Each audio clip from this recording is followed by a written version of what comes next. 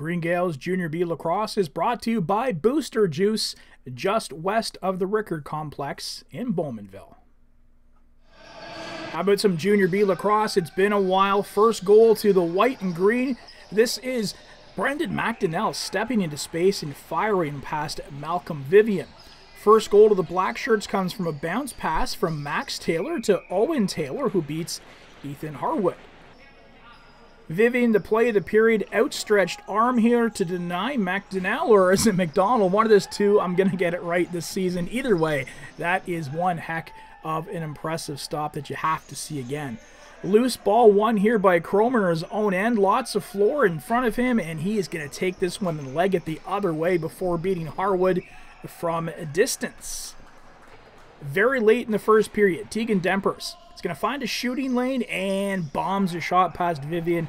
That's going to make it 3 to 2 after the opening 20 minutes. Second period, Zach Pfeiffer steps around Connor Curtis and scores, and uh, Pfeiffer says, hey, no hard feelings for that one. Curtis lets his goalie know he's going to take responsibility for that one. All good things to see, everyone getting back into game shape. Now, that was the halfway point of the contest, and we're going to see goaltending changes. Cal Lenathan and Gavin Williamson take over in nets. A green and white defender tries to make a play on the ball, can't quite come up with it, and Connor Platt will happily make this one a 5 to 4 game. Third period now, Williamson gets across and makes an impressive stop, and that one certainly needed. We're in for a finish. Platt adds another goal in the afternoon to put the black and green up by one. Now, just over a minute to go. Max Taylor was all over the score sheet in this one. Scores to make it 8 to 7. And will this stand up as the game winning goal with 66 seconds left? It could be, but time's ticking away. They're green and white with an extra attacker, and it's Brendan McDonald again at the buzzer. Goal. Oh, how we've missed this type of entertainment. 8 to 8 is the final. It's a tie, but hey, it is the return of Junior B lacrosse, so we all win. Oh yeah, you start out with a stellar save. You know, you know the rest of the game is to go good. Hopefully, hopefully. My case, I was lucky.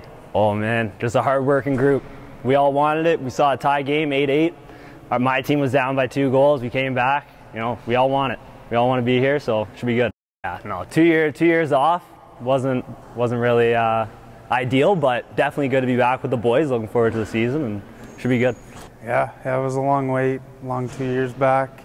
Uh, 2019 obviously got announced as a coach in 2020. We were hoping to have a season, never happened. 2021 was hoping again, never happened. And yeah, we're here now. We're, I'm still a part of the team. I'm happy to be back. I'm happy to be uh, back with the offense this year, and I think uh, it's going to be really good. I'm just hoping to give back, give back to the program that gave so much to me. Um, like I said, it's amazing, amazing to be a part of this, and yeah, I'm happy to be home.